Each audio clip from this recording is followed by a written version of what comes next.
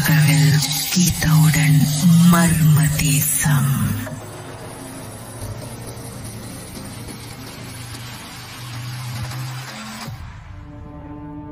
என்ன நடந்தது Mrs Agnes இது வந்து நான் கல்யாணம் பண்ணி என்னோட ரெண்டாவது மக வந்து பிரெக்னண்டா இருந்த டைம்ல அப்போ வந்து ஹஸ்பண்ட் வந்து அவுட் ஸ்டேஷன் லோரி டிரைவரா இருந்தாங்க. டெய்லி காலையில கிளம்புவாங்க வேலைக்கு. ஸோ அப்ப நான் வந்து வெளியே வந்து வெளியே அனுப்ப வெளியே அனுப்பி விடுறப்ப வெளியே வந்து நிக்கிறேன் வீட்டு வெளியே. ஒரு ஃபோர் தேர்ட்டி அந்த மாதிரி இருக்கும்.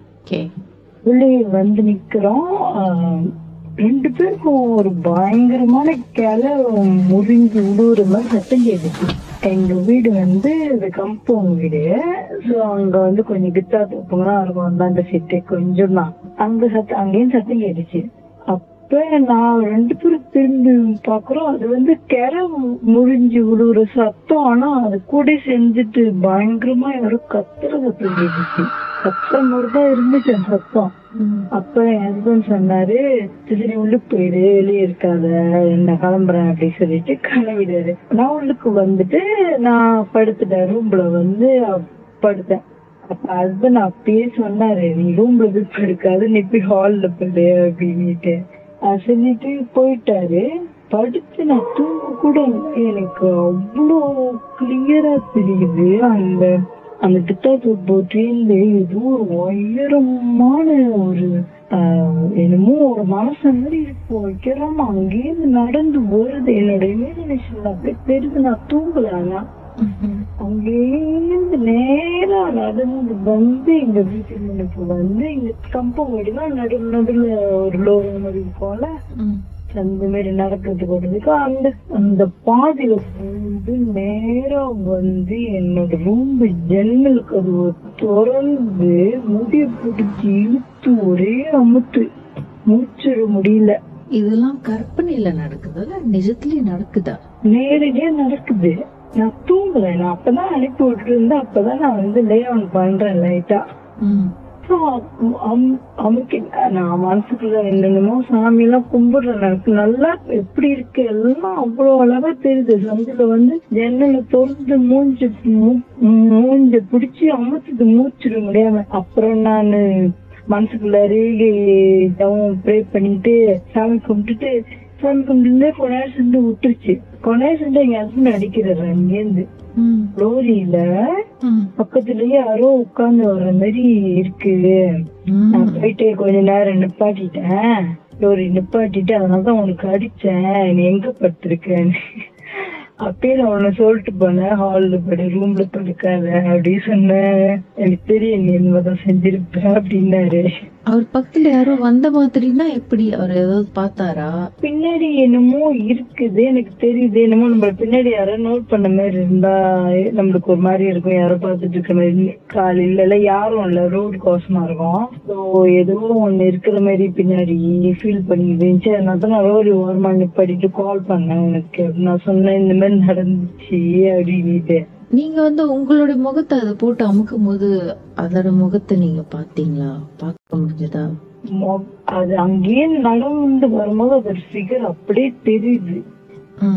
ஒரு ஒரு ஒரு புகி மேன் மாதிரி ஏதோ ஒண்ணு பெருசா ஆனா மூஞ்சிலாம் கிளியரா தெரியல நான் வைக்கிறோமா அங்கேருந்து வேகமா நடந்து வருது. அதுதான் எனக்கு புரியல. நீங்க ரூம்ல இருக்கீங்க. அது எப்படி நடந்து வந்துச்சு? எவ்வளவு பெருசா இருக்குன்னு உங்களுக்கு எப்படி உங்களோட கற்பனையில நீங்க பாத்தீங்க அத? லே டவுன் பண்ணதோட என்னோட எண்ணம் அங்க போகுது. அங்க சத்தம் கேட்டதுக்கு. அங்கேருந்து அது வருது. நடந்து என் வீட்டு வாசப்படிக்கிட்ட வருது. அப்படி நடந்து சைடுல வந்து ஜன்னலை திறந்து அது அமுத்துது. அவ்வளவு கிளியரா கண்ணை மூடிட்டு இருக்கும்போது எனக்கு தெரியுது. அப்புறம் என்ன நடந்துச்சு? அது ஒரு விஷயம் நடந்து போயிட்டு அதோட கொஞ்சம் பயந்துகிட்டே தான் இருந்தேன் அதனால நான் வெளியே படுக்க மாட்டேன். உள்ளுக்கு தான் படுத்துட்டு இருந்தேன். அப்ப ஹஸ்பண்ட் ஒரு தடவை வேலைக்கு போயிட்டு எனக்கு அப்ப நைட்டு கேரள இருந்து கால் பண்ணுவாங்க. பிள்ளைங்களுக்கு வர்றதுக்கு. நான் வந்து பன்னெண்டு மணிக்கு அந்த மாதிரி நான் கிளம்பிடுவேன். அங்க வந்து ஒரு மூணு மணிக்கு அந்த மாதிரி சேர்ந்துருவேன். கதவு தோற வந்து அப்படி சொல்லுவாங்க. அப்ப நானு பிரெக்னெண்டா இருக்கேன். அப்ப நான் போனு பேசிட்டு அவர்கிட்ட போன் பேசிட்டு வச்சுட்டு படுத்துட்டேன். ஒரு மூணு மணி போல தானே வருவாங்க. அப்படி சொல்லிட்டு. மூணு மணிக்கு தட்டுறாங்க அப்ப நான் போயிட்டு ஆஹ், அம்மாலாம் இருக்காங்க முன்னுக்கு. சோ அவர் சொல்லிட்டாருன்னு நான் போய் திறந்து விடுவேன். ஏன்னா அவங்க டிஸ்டர்ப் பண்ண வேணாம்னு சொல்லிட்டு. நான் போய் கதவு திறக்கிறேன் அவர் நின்றாரு முன்னுக்கு. அவரை நான் பார்த்தேன். கரகாசுல போட்டுட்டு அந்த கம்பெனியோட யூனிஃபார்ம் போட்டுக்கிட்டு நின்றாரு. மிட் நைட்ன்றனால நான் கதவு திறந்து விட்டுட்டு நான் நேரா ரூமுக்கு வந்துட்டேன்.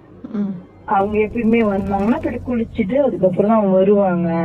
அப்ப பேபி இருந்தாங்க அவங்க நேரம் குளிச்சுட்டு அப்புறம் தான் வருவாங்க. அப்ப நான் வந்து நேரம் ரூம்ல போயிட்டேன். போயிட்டு கிட்டத்தட்ட ஒரு இருபது நிமிஷம் அது மாதிரி வரல அவர் ரூமுக்கு ம். என்னடா கருத்து வந்து விட்டுமே ஆளை காணுமே பாத்ரூம்ல சத்தத்தை காணுமேன்னு சொல்லிட்டு எழுந்திருச்சு போய் பின்ன பாக்குறேன் பாத்ரூம்ல ஆளை காணும் வீட்லயும் ஆளை காணும் எங்கேயுமே ஆள் இல்ல. இல்ல நானு வெளிய போயிட்டு ஹால்ல நின்று பார்த்துக்கிட்டு இருக்கேன். கால் வருது அப்ப திருப்பியும். அவரே அந்த போன் நம்பர் அவர் நம்பர்ல இருந்து கது துற கிட்ட வந்துட்டேன். வீட்டுக்கிட்ட கது துற வந்து அப்படி சொல்றாரு. ஆஹா அப்ப முதல்ல வந்தது யாரு?